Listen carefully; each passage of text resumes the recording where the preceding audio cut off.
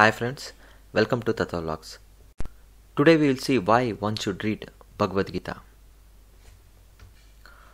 Bhagavad Gita is considered one of the most important and sacred books in the entire range of scriptural books available.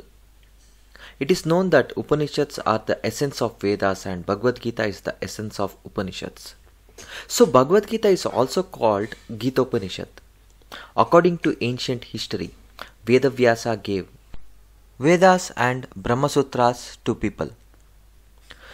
For the people who were unable to read all these uh, spiritual works and understand, he gave Mahabharata. So it has all spiritual and moral messages. Mahabharata has everything for the people who are interested in Dharma, Artha, Kama, Moksha. This is what Vishnu symbolizes with his four Ayudas.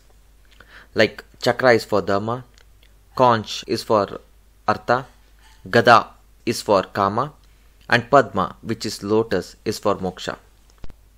Ancients highly respected the Bhagavad Gita.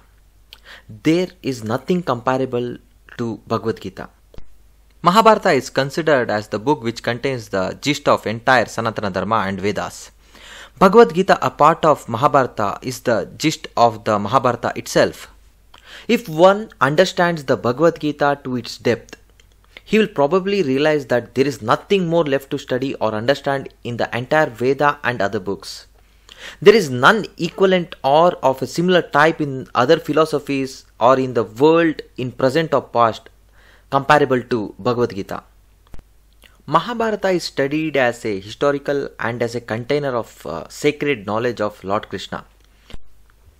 The episode of Mahabharata is not about some distant war that happened some 5500 years ago, but rather from psychological point of view, the everyday challenges we face internally.